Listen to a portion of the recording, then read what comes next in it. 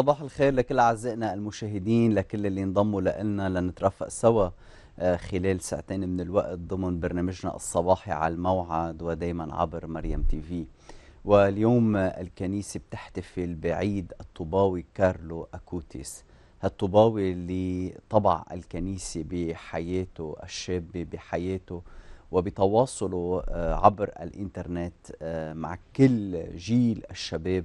اليوم هو علامة لتجدد آه، إيماننا علامة للقداسة اللي كلنا مدعوين أنه نكون فيها آه، بهالمسيرة سوا لنوصل لهالدعوة الأساسية إلى القداسة. وبهالمحطة اللي تعودنا عليها لنكون عم نتعرف أكثر على حياة آه، الطوباوي كارلو أكوتيس اللي ولد بلندن ب 3 ايار 1991 وربوه والديه أندريا أكوتيس وأنطونيا سالزانو على الإيمان والالتزام بالحياة المسيحية. وانتقلوا للعيش بمدينة ميلانو الإيطالية بعد أربعة أشهر من ولادة ابنهم كارلو. وبسن السبع سنوات آه، تقبل كارلو آه، المناولة الأولى بميلانو وكان مغرم بالإفخارستية. وهيك بنقرا كثير آه، هالقول الشهير له اللي بيقول إنه الإفخارستية هي آه، الطريق السريع نحو السماء أو الأوتوستراد على السماء. آه، اللي طبع حياته لكارلو هو مشاركته اليومية بالقداس الإلهي وتلاوة الصلاة المسبحة الوردية والسجود أمام القربان المقدس والسر التوبة. كان يعترف أقله مرة كل أسبوع.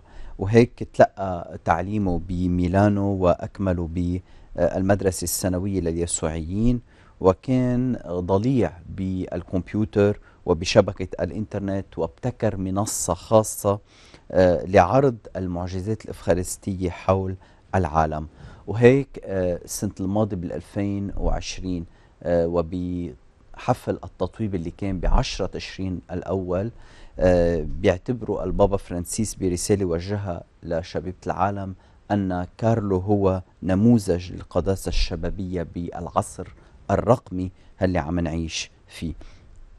ترك هالأرض وانتقل إلى السماء ب 12 تشرين الأول 2006 بنفس السنة اللي أصيب فيها بمرض اللوكيميا أو سرطان الدم وكان آه، له من العمر 15 سنة. ودفن بأسيزي بناء على رغبته. آه، ب 2013 آه، افتتح الملف التحقيق الأبرشي بأبرشية لومبارديا الإيطالية. واستمر حتى 13 أيار 2016 وبتشرين الأول 2016 قدم المجلس الطبي التابع لمجمع دعاوى القديسين بالفاتيكان رأي إيجابي بشأن معجزة منسوبة لشفاعة الطوباوي كارلو أكوتيس وهي شفاء طفل بالبرازيل. آه، كان عانى من مرض نادر نتيجة تشوه خلقي بالبنكرياس. وهيك بعد إعلان آه، فضائل هذا الطوباوي أعلن أيضا آه، العام الماضي تطويبه. أكيد شفاعته معنا. وتنتذكر دايما يمكن هيك من آه، من أجمل الأقوال اللي كان عم بيرددها. آه، إذا وقفنا وقفنا قدام الشمس بنحصل على هال هال هالسمار اللي بتطبعنا فيه الشمس. ولما بنوقف قدام يسوع بالقربان المقدس منصير قديسين أكيد هو محطة اليوم لنتأمل مع هالطوباوي الجديد بعلامات مضيئة بكنيستنا بعلامات رجاء رغم كل هالصعوبات اللي عم نعيشها ولكن بيبقوا هال بتبقى هالشهادة المقدسة الشهادة للإله الحي يسوع المسيح. من قديس اليوم بننتقل أكيد إلى آه، النصيحة اللي رح نترافق فيها مع زينة سفير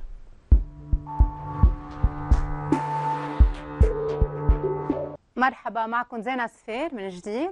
اليوم نصيحتنا الجديدة هي كيف نساعد الولد ليقدر يكون مركز أكثر كلنا بنعرف إنه التركيز هو مشكلة العصر اليوم مع الأولاد آه سواء كان بكل المواد وبكل الأعمار.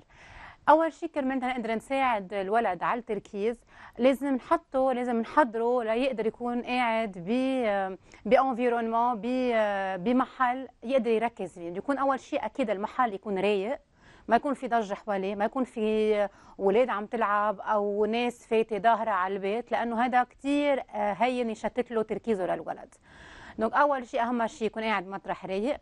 ثاني شيء نكون نحن مأمنين له ونحن نكون عارفين إذا مش نحن مأمنين له هو معه كل الأغراض اللي هو بحاجة لها كرمال تنتفادى ألا شيء ممكن يقوم من مطرحه ليروح لمطرح ثاني ليجيب الغرض إن كان مسطره إن كان قلم محاية ستيلو ورقة دفتر كتاب اللي هو حيالله مواد ثالث آه، شغلة اللي هي كمان كثير مهمة إنه نبعد عنه وهيدا عن جد كثير كثير مهم لأنه هيدا آفة المجتمع اليوم. كل المواد كل المواد إذا بدكم الإلكترونية. لأنه هيدا كثير هين الولد اليوم يتشتت إن كان بصورة إن كان على الإنترنت أو واتساب بقى هول كثير مهمين إنه ما يكونوا موجودين حده. فلكن أهم شيء للتركيز الولد يكون قاعد بمطرح رايق ما في ضجة حواليه يكون كل الأمور اللي هو بحاجة لها مأمنين له إياها ومحطوطة حده وما يكون في عنده كمان آه، المواد الإلكترونية. وكمان شيء كثير مهم في أولاد يمكن لي لي ليكونوا مركزين أكثر بحاجة يكون معهم رفيق. فنحن إذا شفتوا إنه ولدكم أو بنتكم بترتاح أكثر بالدرس بصير عندها موتيفاسيون بترتاح أكثر مع الدرس إذا كان في حدا شخص قاعد حدا رفيق أو رفيق أو أخت أو خيا هيدا مش غلط. كمان بس أكيد بيكون هون في مراقبة كيف عم بيشتغلوا سوا لما يكونوا عم بيضيعوا وقت بعضهم. هذا كان كل شيء لليوم لنصيحتنا. بنرجع كمان بنكمل غير حلقة غير نصيحة كمان عن التركيز بس لل level ل niveau أعلى شوي. Au revoir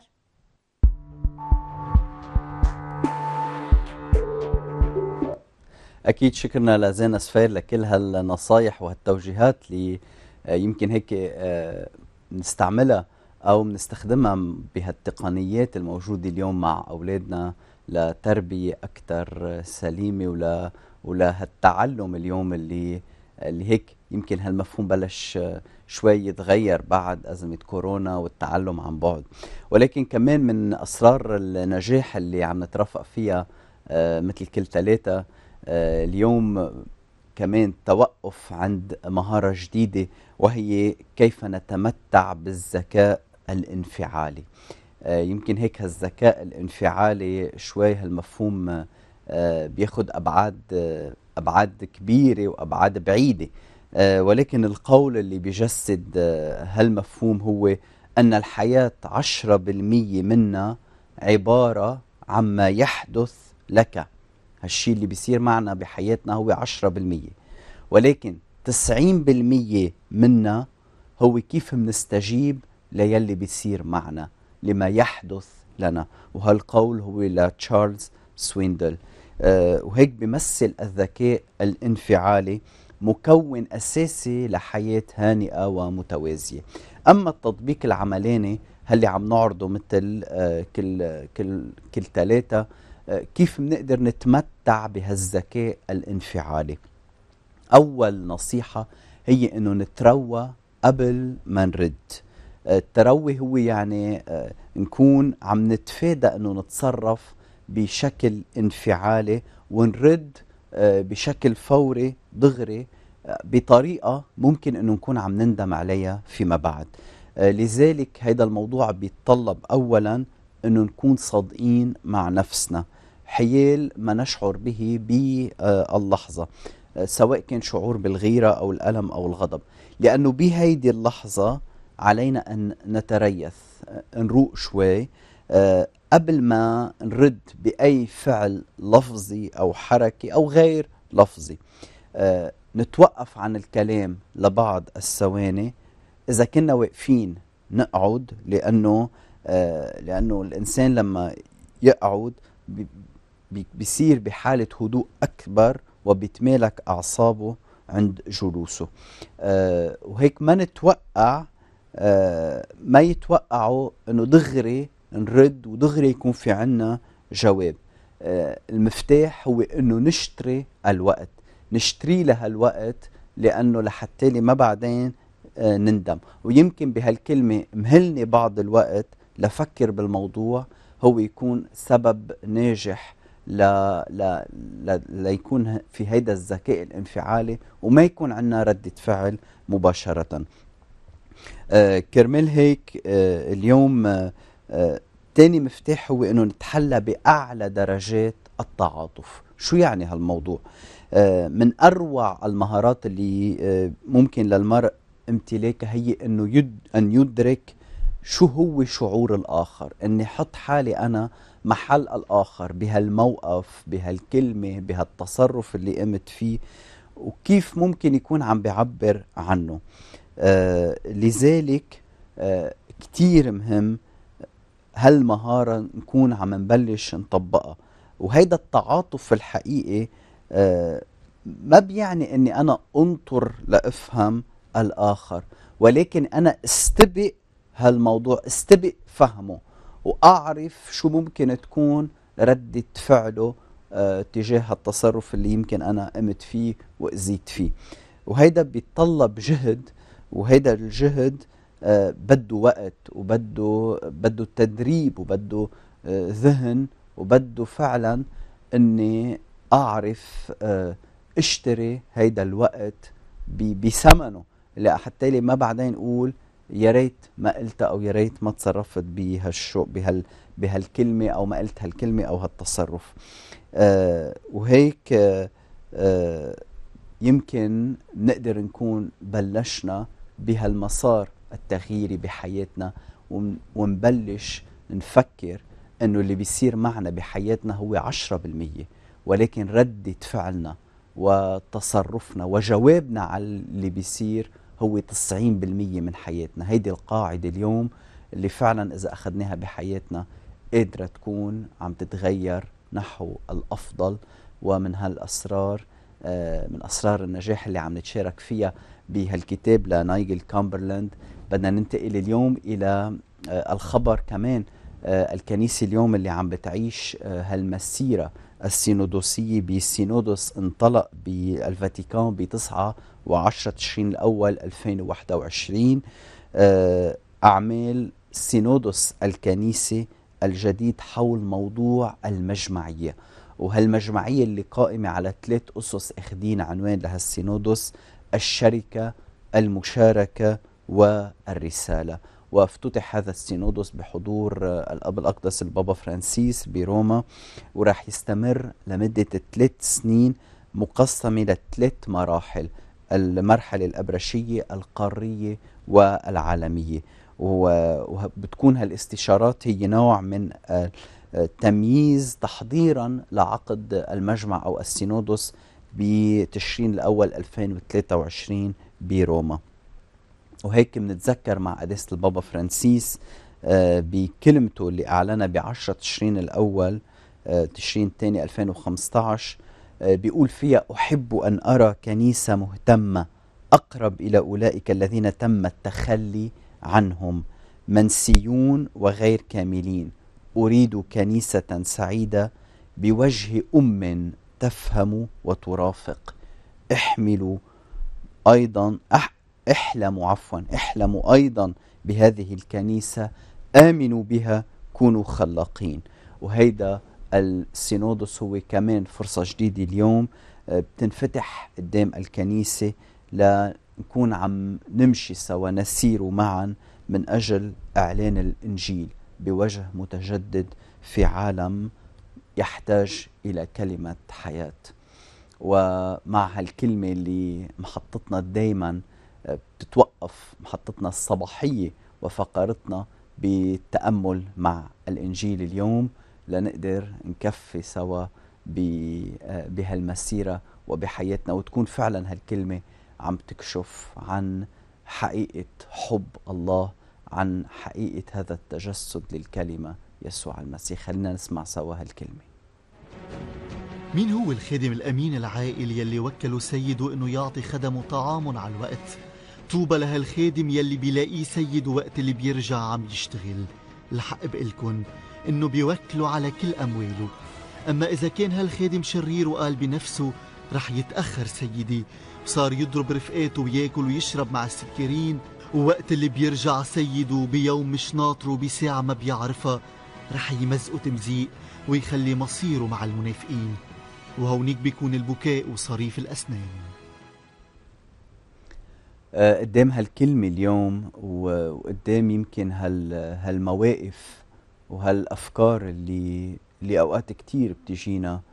آه، السؤال المطروح اليوم آه، من هو سيدي؟ ويمكن هيدا التأمل اللي بياخدنا على على حياتنا الروحية اللي عم نعيشها ومع أي سيد نعيش. اليوم أسياد هذا العالم كتار.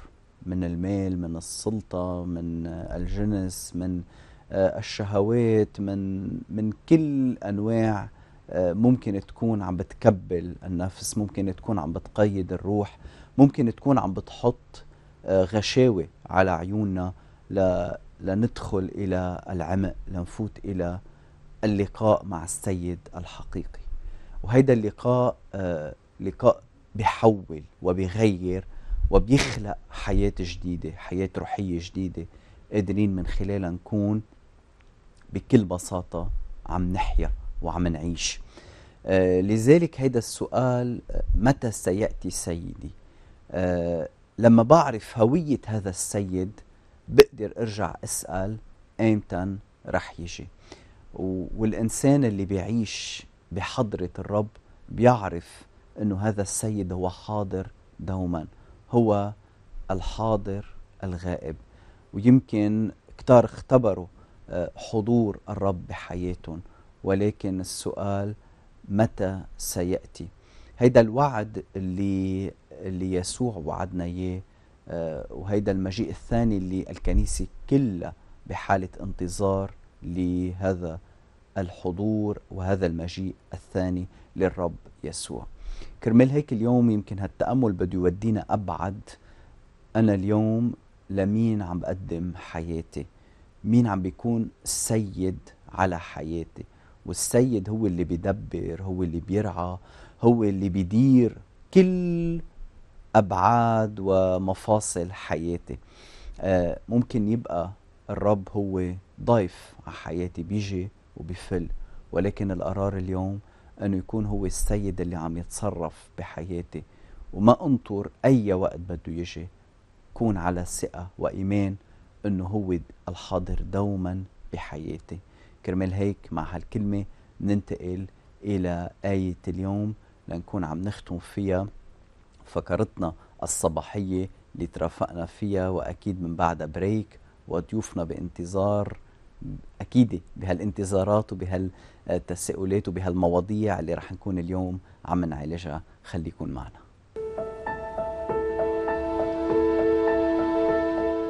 وفي الغد نظر يوحنا يسوع مقبلا إليه فقال هو ذا حمل الله الذي يرفع خطية العالم. هذا هو الذي قلت عنه. يأتي بعدي رجل صار قدامي. لأنه كان قبلي وأنا لم أكن أعرفه لكن ليظهر لإسرائيل لذلك جئت أعمد بالماء.